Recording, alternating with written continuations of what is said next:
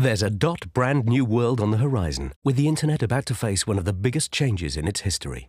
ICANN, the organization that manages the availability of top-level domains or TLDs on the internet like .com and .org, has given the green light for businesses to manage their own dot brand extension.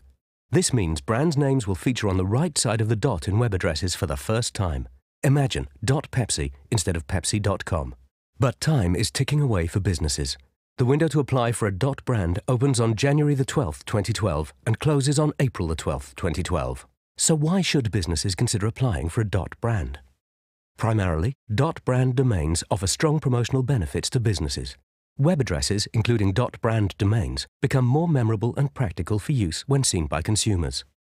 Also, dot brand domains offer security benefits for industries worried about counterfeiting and other criminal activity on the internet.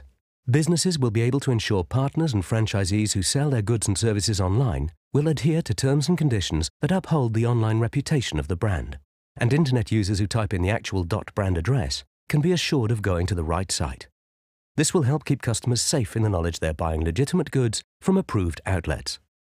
Should a company decide to apply for a brand domain, they need to consider the following factors. Any companies or organizations of good standing are eligible to apply for a brand. The application to ICANN costs 185,000 US dollars, but experts suggest that applicants allocate a budget of 400 to 500,000 dollars to ensure all application requirements are met. There are 50 questions on the ICANN application form. The first set of questions are straightforward, asking about the company and what they will use the domain for. A further set of key questions are more technical, requiring detailed answers on every aspect of registry and DNS operations. Working with a global registry services company will better position businesses to respond to these questions.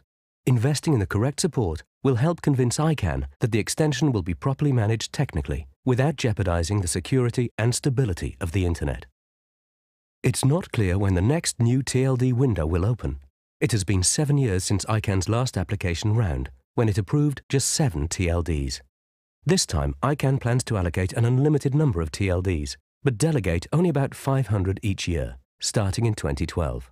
A second round is planned, but the date has not been announced. That means businesses who don't act now may be facing an indeterminate period of disadvantage. Don't miss your chance to be on the right side of the dot.